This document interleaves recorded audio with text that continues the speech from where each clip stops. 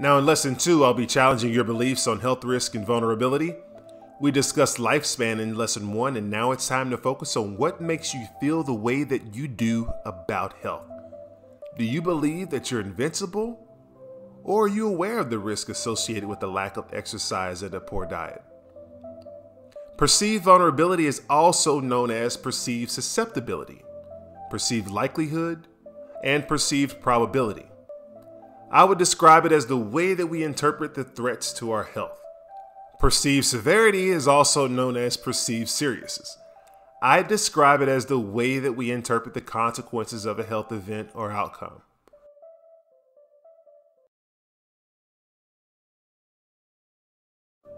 So, what is the likelihood of developing a health problem? What is more of a threat, a common cold or a heart attack? We would all say a heart attack. Why? Because heart attacks can be fatal. Every 40 seconds, someone in the United States has a heart attack. But because of age related factors, such as the amount of time it could take for the damage to the heart muscle to get to a point of a heart attack, we're more likely to catch a cold. Data from the Center of Disease Control shows that adults have an average of two to three colds per year, while children suffer from about six to 10 colds a year. And because most people recover from the common cold in about 7 to 10 days, that's 14 to 30 days per year that the average American adult suffers from the common cold. We don't often consider colds to be life threatening, but those with weakened immune systems or respiratory conditions it could lead to serious illnesses such as bronchitis or pneumonia. Because the common cold is so common, we're much more aware of how to protect ourselves.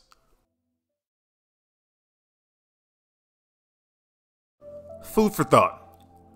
Foods that are rich in vitamins, minerals, and antioxidants are vital when it comes to strengthening our immune system. This includes foods such as dried tart cherries, turmeric, chamomile, walnuts, oily fish, citrus fruits, leafy greens, blueberries, and more. Alright, so what about the heart disease? Let's analyze. Nearly 1 billion colds are reported every year, while approximately 1.5 million heart attacks and strokes occur every year in the US. More than 800,000 people in the United States die from cardiovascular disease every year. Yeah, that's about one in every three deaths. And of those 800,000, about 160,000 of them occur in people under the age of 65. Heart disease kills almost the same number of people each year as cancer, lower respiratory diseases, including pneumonia, and accidents combined. Now that brings me to the next topic perceived severity.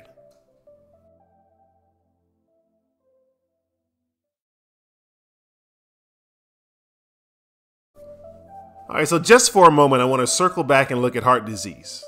It's the number one cause of death in the United States and it's totally preventable. But because we associate heart attacks and strokes with old age, we don't give it much consideration when we're young. Unfortunately, this is where most of the damage is done in our younger years. See, children don't have much of a say so when it comes to their diet. They're normally at the mercy of whatever the parent provides. It's safe to say that parents have the most influence over their children's health. The more informed parents are, the more likely they are to guide their children toward healthier lifestyles. This includes food and exercise. But what if the parents aren't informed? Well, when a person isn't informed, they're not aware of the potential risks associated with a poor diet and lack of exercise. They don't really understand the potential health complications that could occur as a result of having a sedentary lifestyle or eating lots of fried foods. In fact, the more sedentary a person is, the more likely they are to be unaware of the effects of a poor diet.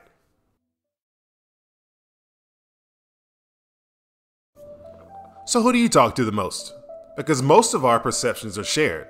So, when our family members, friends, significant other, or colleagues become aware of something important, most often we become aware as well. Let me use a call center environment as an example. Call center jobs require lots of time on the phone and lots of time sitting at a desk that can lead to poor or worsened eating habits, irritability, anxiety, and stress. And because call centers are known to be very densely populated, there's a high probability we could find people who have similar lifestyle characteristics. They may also share similar ideas and have similar values.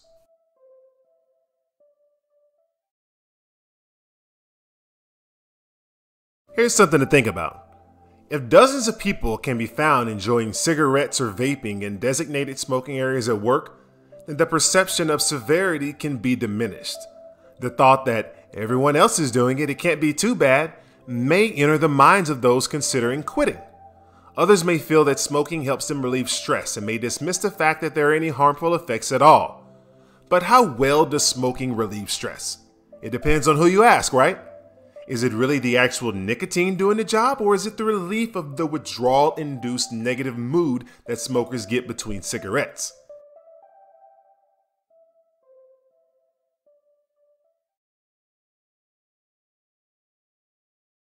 The CDC reports that over 480,000 deaths occur annually from cigarette smoke, including deaths from secondhand smoke. The overall mortality rate for male and female smokers in the US is about three times higher than those who've never smoked. Now, I listed lifespan earlier as a perceived benefit of creating a sustainable, healthy lifestyle. Well, here we're examining smoking, and the life expectancy for smokers is at least 10 years shorter than for non smokers. Now, that's a lot to consider. 10 years is a long time. A lot can happen in 10 years. Kids can get married and have kids of their own. Grandkids can go from first grade to learning how to drive in 10 years. See, we have to look at the big picture. Smoking causes more deaths per year than HIV, illegal drug use, alcohol use, motor vehicle, and firearm related incidents combined. Now, did you know that quitting smoking before the age of 40 reduces the risk of dying from smoking related disease by 90%? But it's not just the smoker who's affected, remember? Secondhand smoke kills too. In fact, secondhand smoke causes about 41,000 deaths per year among adults in the United States.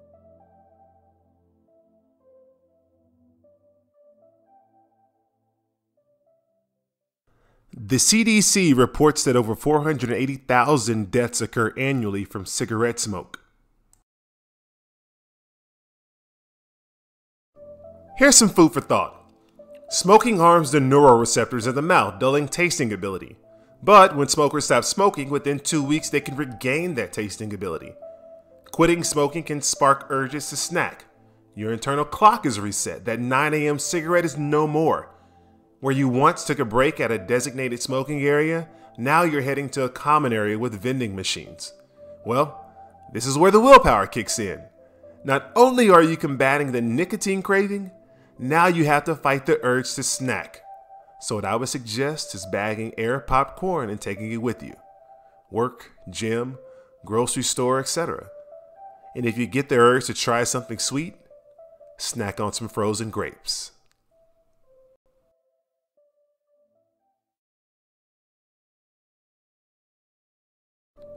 So, for perceived threats, let's use cancer as an example. Do you believe that cancer is A, severe, B. Serious, or C. Significant. Typically, the higher we perceive the threat of a particular health condition, the more likely we are to engage in health promoting behaviors. I'm part of the group that likes to avoid illness.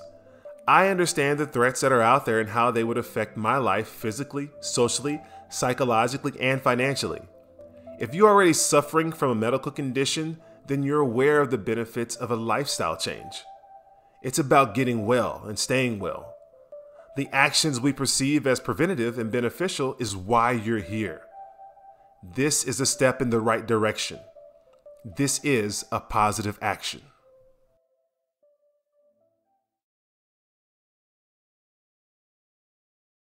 Here's some food for thought. In the United States, we love cookouts. There's nothing better than a good old get together with some fresh hamburgers and hot dogs off the grill. Well, what about those hot dogs that we love so much? Well, it's said that sodium nitrite and sodium nitrate have both been linked to significantly increase the risk of cancer. So the next time you think about hosting a cookout, make sure you buy some uncured meat products that are free of nitrites and nitrates. Now we know that being healthy is important. We know that we should stay away from foods that could increase our risk of cancer. But what is it that gets in the way of us being able to make these changes? What types of barriers exist? Financial barriers? Psychological barriers? What about social barriers?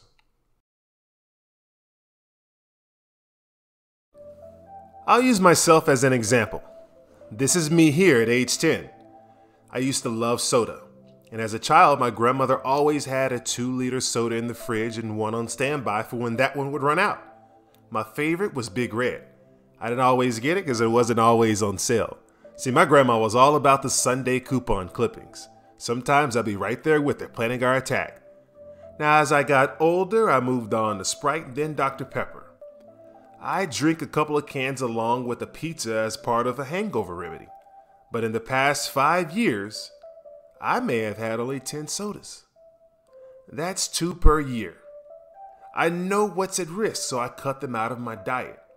They're loaded with sugar, high fructose corn syrup to be exact, food chemicals, and artificial food colorings. See, soda acidifies the body, literally feeding cancer cells. In my coaching practice, I often use myself as an example to show how weaning myself off of bread changed my life. See, when I go to a restaurant that serve fresh rolls or breadsticks, I couldn't just have one or two. I'd eat the whole basket. There was something about being full and getting my money's worth that drove me to indulge. See, it took me a while for me to put it all together. I cut out the soda and the bread at the same time because my cravings were paired. I go out to eat, order a soda, get free refills. Eat a basket of bread. They keep filling it back up. You do that often enough over the years and it adds up. I looked up and I was almost 300 pounds, 60 pounds higher than I was in my prime at the age of 27. Now, it didn't take me long to start seeing the weight drop. My exercise habits improved because I felt much better. My energy improved. Next on my list was alcohol. Now, I only drink on special occasions, which at most is about once or twice per quarter. The better I felt after cutting bread, the more I wanted to know why. The better I felt at the cutting soda, the more I wanted to know why. Cutting down on alcohol, same effect. I can tell you that I'm glad I did it. Know this the regular consumption of refined carbohydrates was linked to 220% increase in breast cancer among women. It's high glycemic foods such as white bread, white rice, french fries, and donuts that cause spikes in blood sugar, which directly is linked to the growth and spreading of cancer cells. See, the barrier that I held was knowledge. See, I didn't previously care to challenge my beliefs, therefore, I didn't bother to educate myself. I was good until I could no longer accept how I felt and how I looked.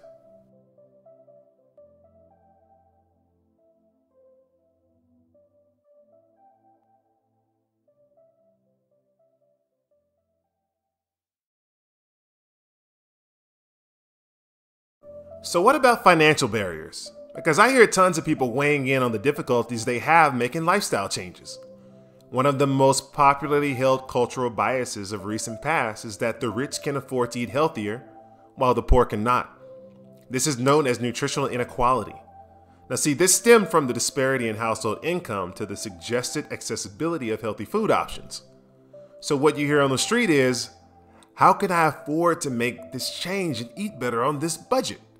I have too many mouths to feed. Or you might hear, How am I supposed to eat healthy in the nearest grocery store with what I need is on the other side of town? Well, we could argue that all healthy food options aren't expensive, and accessibility to healthy food options isn't as restricted as we'd like to believe. See, our perception is learned. We see most of what we've learned to believe and accept. If we learn a hardship, we see a hardship. Yes, the struggle indeed may be real, but whether or not you allow it to stifle your growth or use it as motivation to change your life is up to you.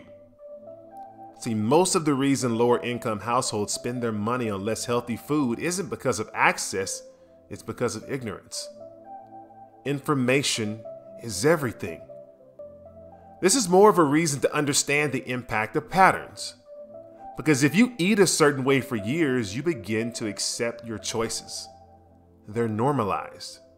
Frankly, if you knew better, then you would do better.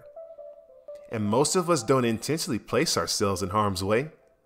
So let's turn to research for a second. Now, a recent study compared the causes of nutritional inequality claims that a large percentage of low income households are in what's known as food deserts and don't have the same access to full service supermarkets. Now, it seems as though if researchers were looking for data to reject the idea that neighborhood environments have meaningful contributions to nutritional inequality, then they found it. The data showed that. When they compared the products and prices available to both high and low income households, there was only a 9% reduction in nutritional inequality, while 91% of the suggested difference was driven by differences in demand. In a nutshell, it's not the availability of nutritious food, it's the demand that we should be worried about. And because demand is the focus, that means nutritional education and food preferences are to blame. Now, this class isn't about political views, so don't get distracted.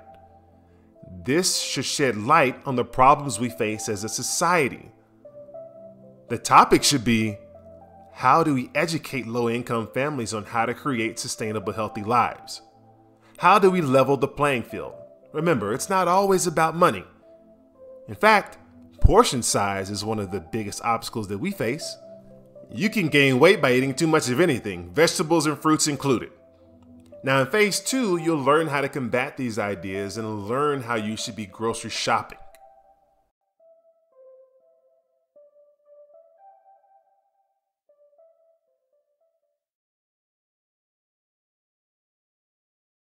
Food for thought. Fresh produce is one of the more expensive purchases that we make at the grocery store. With fruits and vegetables packing such a huge punch of nutrition, we need them. We can do fresh, frozen, or canned. Now, the study Nutrition and Cost Comparisons of Select Canned, Frozen, and Fresh Fruits and Vegetables analyzed over 40 scientific journal studies and nutrition data. It compared the fresh, frozen, and canned fruits and vegetables based on nutrition and cost by nutrients per calorie for each packaging type. Lead researcher Stephen Miller stated this Canned fruits and vegetables provide high quality nutrition to Americans regardless of income level and geography. By increasing accessibility to key nutrients many Americans need, canned foods are a year round solution to help families prepare healthier, balanced meals.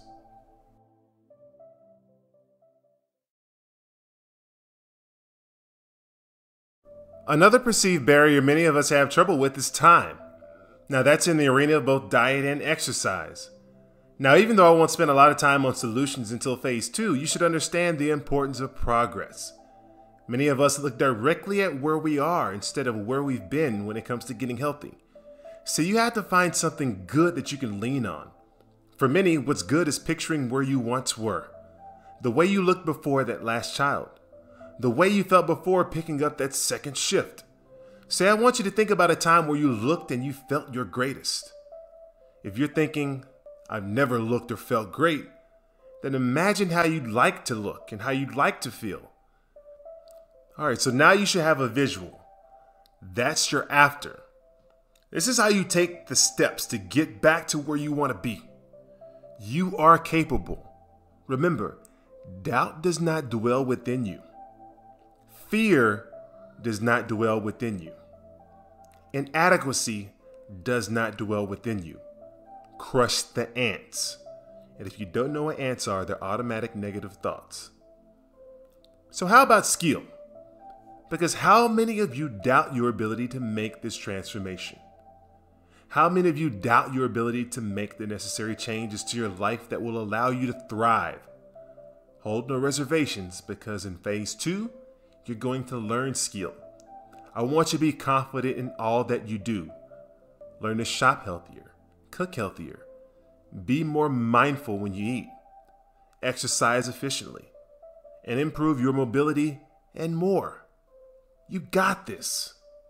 I believe in you.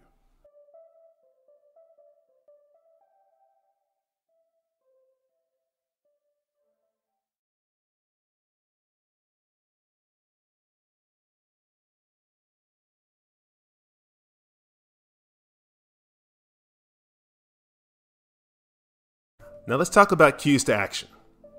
This is the what that's going to make you execute the plan ahead. You already have the why.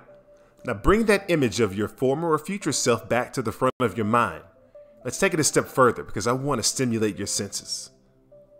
What does it smell like when you're your healthiest? I want you to focus on a particular setting. I can tell you what it smells like for me. It's that mint and eucalyptus fragrance I get added to the room during my massages. Ah.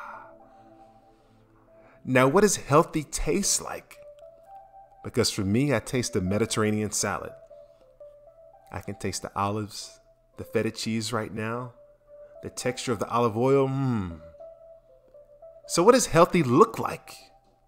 For me, healthy looks like the 8% body fat I finally achieved in the summer of 2018. Man, that was a beast mode summer. And finally, what does healthy sound like? Because for me, it's the sound of weights clanging and banging. And my runner up is the sounds of nature in my runs the crickets, the birds, the wind, and footsteps. You gotta love it.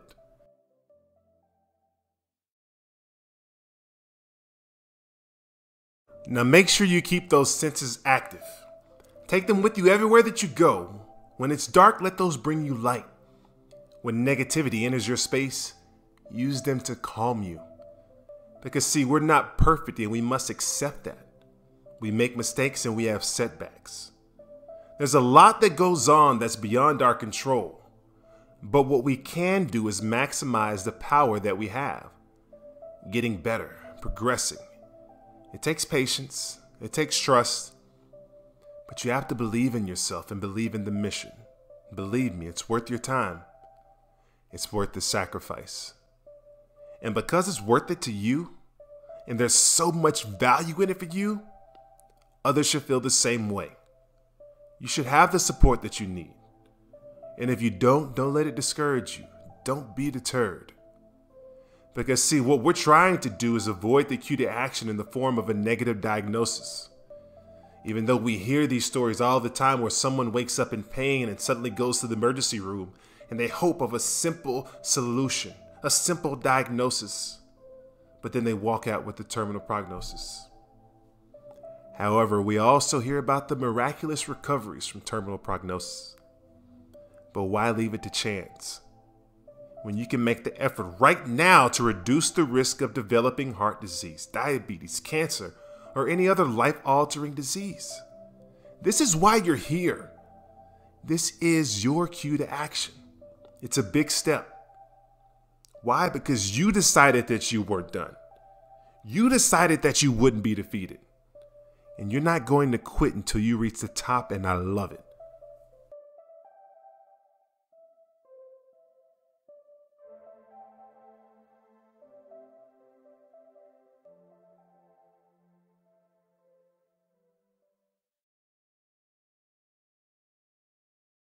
Now, that brings us to the last topic in this lesson self efficacy.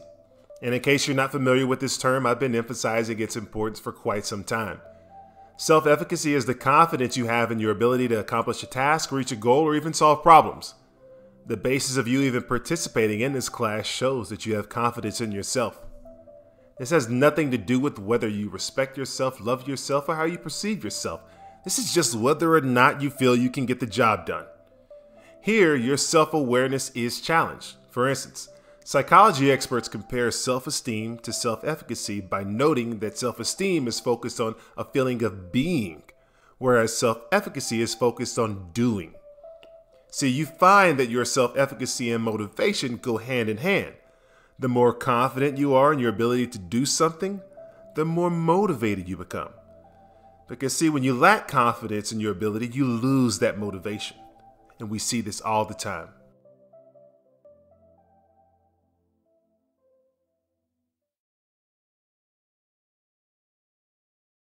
Now, how many of you have lost confidence midway through a task only to find yourself stuck, lost in the directions with no clear solution in sight? I have. I've had to stop, take a deep breath, and reevaluate. But I persevered, and so can you. You know, sometimes life has a way of placing obstacles in our path where none should be just to prepare us. Sometimes failure is just the perception of our learning ability. Some take a more hands on approach, trial and error while others observe and calculate from afar before finally deciding to move forward. Now, this can be the difference in one's confidence in his or her ability to succeed. Think about all those who've come and gone, who've tried and failed. Did they just hang their head and say, I'm such a failure? never to make an attempt again, or did they get back up, reevaluate, set their targets, and try again? Of course they did. So, who do you know with high self efficacy? Is there anything that you can learn or have learned from them? How do they impact your life, and how do they perceive obstacles?